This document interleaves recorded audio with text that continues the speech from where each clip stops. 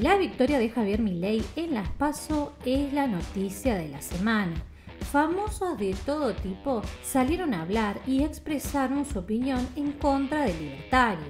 Hoy, en una nueva edición de Los Papeloneros, recordaremos quiénes fueron los artistas que criticaron al líder de la Libertad Avanza. ¿Estás buscando una forma de llevar a tu negocio al siguiente nivel? ¿Querés aumentar tu presencia en buscadores y atraer más visitas y ventas a tu sitio web? Entonces Train Content es lo que necesitas.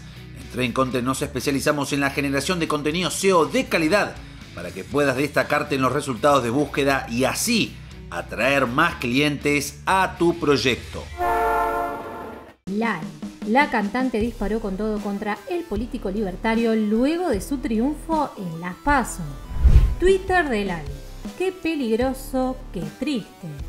Todo esto generó un gran revuelo tanto en las redes como en los medios de comunicación. Varias personalidades del mundo del espectáculo dispararon contra la cantante. Otros, en cambio, la defendieron. Miley le restó importancia a los dichos de la ex chica Cris Morena.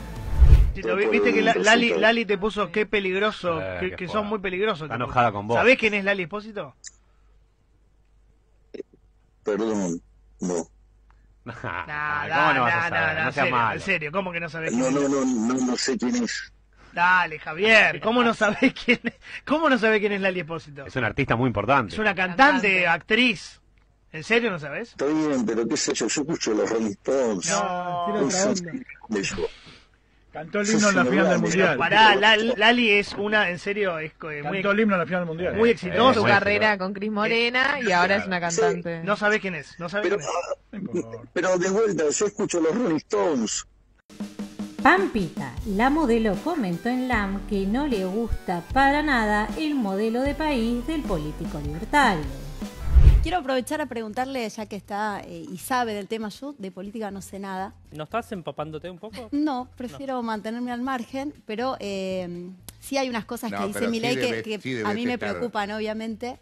Y una de las que más me preocupan, y que hoy lo hablaba con uno de mis hijos en casa, era eh, la posibilidad de comprar armas eh, con, al tener una mayoría de edad. ¿Eso cómo sería en el país? Digamos, Eh, los ejemplos que tengo de afuera de otros países es que, Tremendo. que, bueno, no hay, no hay un testeo previo de la salud mental de la persona que compra las armas y bueno, como sabemos hay tiroteos en colegios, en cines, en teatros. No sé si ese es el país Sí, que yo quiero para mi familia a futuro. Eh, es una de las cosas que más me preocupan de mi ley. No, bueno, también Pampita habló mi ley del tema de la venta de órganos. Venta de órganos. Venta de órganos, de privatización de los Yo- colegios públicos, Sí, Tremendo, claro. tremendo. Salud pública, lo mismo, la salud, privatización. salud ver, pública también privatizada. Yo ahí, ¿sabés que En la política vos capaz lo, lo- lo habrás escuchado, Pampita, en, en las conversaciones con tu esposo. En la política hay algo que se llama el teorema de Baglini.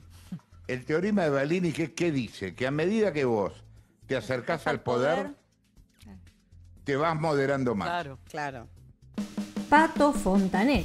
El año pasado, el ex líder de Callejero fue totalmente implacable con el economista mientras daba un concierto. Milei no se quedó callado y le respondió al músico. Se llama Javier Milei, la marca del aceite, ha dolarizado la economía, bueno, todos aquellos 43 millones 990 mil que se queden afuera vivirán mal y los 10 mil dolarizados que cobran en dólares brindarán con Javier Milei. Es una idea genial la que tiene. Es un visionario.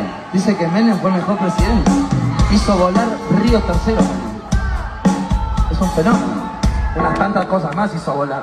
Hizo volar al astillero donde se hacían los barcos, hizo volar Aerolíneas Argentinas fue de la Rúa, perdón. Hizo volar Telefónica, Telecom, un montón de negocios que hubiesen quedado para el país, pero bueno, ¿qué va a hacer? Él quiere ir ahí. Pues, pero es, es lindo, ¿no? Con ese peinado que tiene. Y esa cara de nazi que tiene que estar al lado. Al señor Fontanet lo estoy demandando en este momento, o sea, lo vamos a demandar porque Argentina es uno de los 50 países del mundo que firmó el IRJA. Es decir, el IRJA tiene que ver con la banalización del holocausto, es decir, usted no le puede decir nazi a otra persona. Es un delito, eso constituye un delito. O sea, de hecho, digamos, también digamos, tengo cinco causas contra cinco periodistas que me, lo- me han dicho nazi. ¿Y eso cómo lo resuelves con los periodistas? ¿Aceptás una disculpa o querés otra cosa? No, no, no, no, no, se van a tener que disculpar en el lugar y además me van a tener que pagar. La Renga. Dos años atrás la banda de rock su malestar por la utilización de una de sus canciones en un acto del economista. Milley salió al cruce del grupo y dijo que habían tocado en encuentros partidarios de Cristina Kirchner. Quien quiera es libre de escuchar, cantar, bailar y poguear las canciones de la renga. Lo que está mal legal y moralmente es tomarse la libertad de usar esas canciones para una campaña política y beneficio propio. Un seguidor de nuestra banda jamás haría eso. Entre nosotros existen lazos y sentimientos. No queremos tener un disfrazado de amigo hablando de la libertad. Hacían alusión a usted y al uso de una canción de la renga. El uso político de una canción, como ellos hacían en los actos de Cristina. Ellos co- eh, cobraron ese acto. Ah, bueno, además, bueno, yo digamos, o sea, digamos, cuando vos haces un espectáculo, o sea, no solo que pagás los derechos, ¿sí? ¿Pero Vos usted pagó que- los derechos? Sí, claro. Ah, y además, dicen que había un claro, legal. claro, y no solo eso, sino que además, cuando vos haces un espectáculo y, por ejemplo, vas a contrastar el sonido, dentro de los impuestos que te cobran está O sea, justamente le- le eso.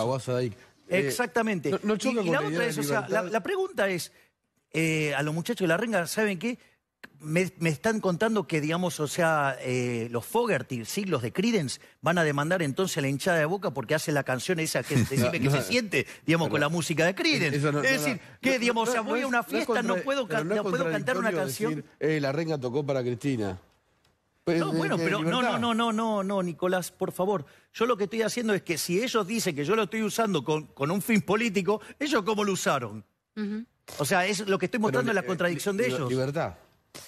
Pero la restricción no la puse yo, digamos, el comunicado ese no lo escribí yo, digamos, parece que me lo hubieran hecho a propósito para que me divierta un ratito con las inconsistencias que tienen los kirchneristas. Moria Kazan, la vedette, fue otra que se sumó a la lista de famosos anti-Milei y fue totalmente irónica con su triunfo en las primarias.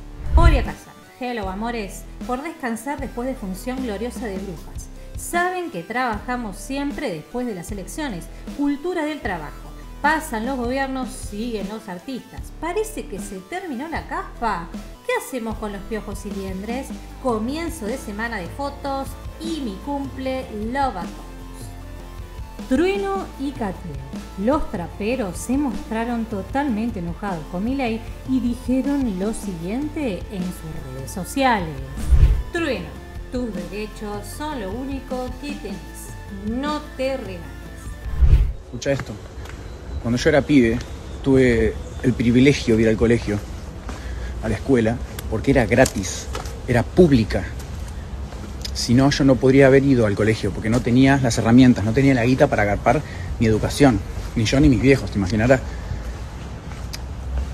Si los hospitales, si la sanidad hubiese sido privada, yo estaría muerto, porque en más de una ocasión me han salvado la vida eh, doctores de públicos, doctores de hospitales públicos. Entonces, yo digo, es muy importante pensar en nuestro futuro y en las manos de quién las vamos a dejar. Ojo, porque en el futuro van a ser- vas a necesitar cosas y no vas a poder pedirlas, porque esos son derechos. Y cuando hay una necesidad, hay un derecho. Así que cuando necesites, ya va a ser muy tarde, mi amor. Si les gustó el video, denle like, suscríbanse a nuestro canal y háganle un clic a la campanita de notificaciones.